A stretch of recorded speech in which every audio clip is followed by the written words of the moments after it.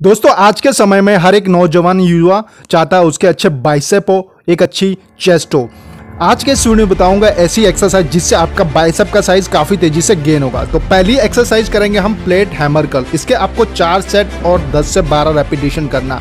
Friends ध्यान से देखिए किस तरह से इस एक्सरसाइज को आपको परफॉर्म करना इस एक्सरसाइज से आपके बाइसेप जो है आपके शॉर्ट हेड और लॉन्ग हेड दोनों बाइसेप ट्रेन होते हैं और आपकी जो बाइसेप की जो मसल्स है काफ़ी तेज़ी से गेन होती है। इसके आपको मिनिमम 10 से 12 रेपिटेशन करना है और आपको चार सेट करना है। अब दूसरी जो एक्सरसाइज है, आपको करना है मशीन पीचर कल फ्रेंड्स, ये बहुत ही अच्छी एक्सरसाइज है आपके बाइसेप का बीच वाला डोला होता है उसे इंक्रीज करने के लिए।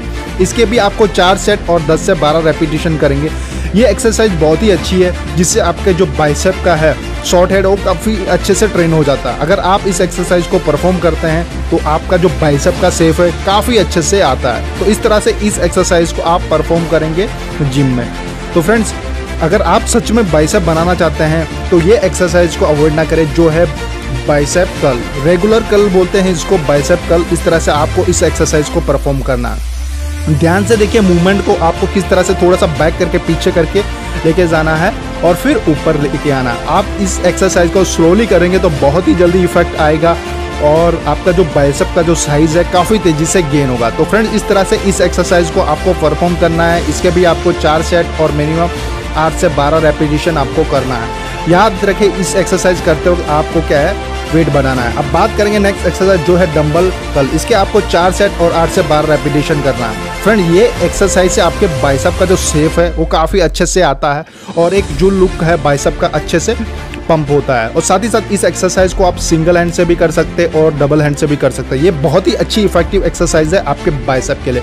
तो फ्रेंड्स अगर आप बाइसेप बनाना चाहते हैं तो इस एक्सरसाइज को अवॉइड ना करें। अब नौजवान युवा चाहता है उसकी अच्छी चेस्ट हो। अब अच्छी चेस्ट के लिए आपको करना है पोस्ट डंबल फ्लाई यानी कि आपको होल्ड करके डंबल फ्लाई करना है। इससे आपका जो चेस्ट का साइज़ है काफ़ी तेज़ी से गेन होता है। हर एक इंसान चाहता है उसका बाइसेप और चेस्ट अगर आपने बना लिया डेवलप कर लिया तो आपकी जो बॉडी है ओवरऑल जो लुक है, वो काफ़ी अच्छा होता है आपके बाइसअप और आपकी चेस्ट से। तो ये एक्सरसाइज को कभी भी अवॉइड ना करें अपनी चेस्ट के लिए। तो फ्रेंड्स ये एक्सरसाइज भी काफ़ी अच्छी है आपकी चेस्ट के लिए। आपको थोड़ा पोज करके करना है ये डंबल फ्लाई और हर एक सेट में आपको वेट बनाना है डंबल का। तभी जाके इफ़ेक्ट आएगा और आपके जो चेस्ट है अपर चेस्ट लोअर चेस्ट और मिडल चेस्ट तीनों तीनों पर इफ़ेक्ट करेगा। अब बात करें दूसरी एक्सरसाइज जो है क्लोज ग्रिप डंबल प्रेस इसके आपको आठ से बारह रेपिटेशन करना है, चार सेट करना फ्रेंड्स आप रेगुलर सारी एक्सरसाइज करते हो, लेकिन कभी डिफरेंट तो करो, तभी तो आपकी बॉडी में इफ़ेक्ट आएगा।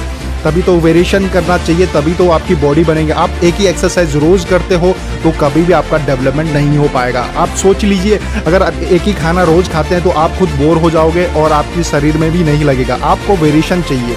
इसीलिए आपको क्या करना है वेरिएशन करना अब बात करेंगे इंक्लाइन प्लेट प्रेस आपको क्या है डम्बल से आपने किया होगा इंक्लाइन प्रेस प्रेस लेकिन आपने प्लेट से कभी नहीं किया। तो फ्रेंड्स जब वेरिएशन करेंगे, तभी इफ़ेक्ट आएगा। तो इस एक्सरसाइज में हम वेरिएशन की बात कर रहे हैं। डम्बल की जगह आपको प्लेट से इंक्लाइन प्रेस करना तभी एक अच्छा मूवमेंट आएगा और अच्छा इफ़ेक्ट आएगा। तो इसके भी आपको चार सेट और आठ से बारह रेपिटेशन करना अब करेंगे आप डिक्लाइन पुशअप इसके चार सेट और मैक्सिमम जितना हो सके इतना रेपिटेशन करिए। आप थोड़ा बेंच की सहायता भी ले सकते हैं इस एक्सरसाइज को परफॉर्म करने के लिए। इससे आपके चेस्ट का जो लोअर हेड है और अपर है और मिडल तीनों ट्रेन होता है। तो ये फ्रेंड्स ये था वीडियो अगर अच्छा लगा तो लाइक कर दीजिए कमेंट कर दीजिए। इसी तरह वीडियो पाने के लिए चैनल को सब्सक्राइब करेगा। जय हिंद, वंदे मातरम।